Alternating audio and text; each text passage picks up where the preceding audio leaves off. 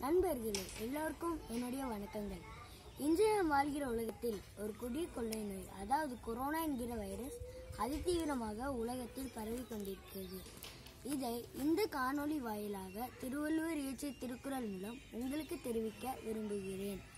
பொருட்பால் என்கிற பாலிலிருந்து மருந்து என்கிற அதிகாரத்திலிருந்து தொள்ளாயிரத்தி நாற்பத்தி எட்டாவது குறள் நோய் நாடி நோய் தணிக்கும் வாய் நாடி வாய்ப்பச் செயல் குரல் விளக்கம்.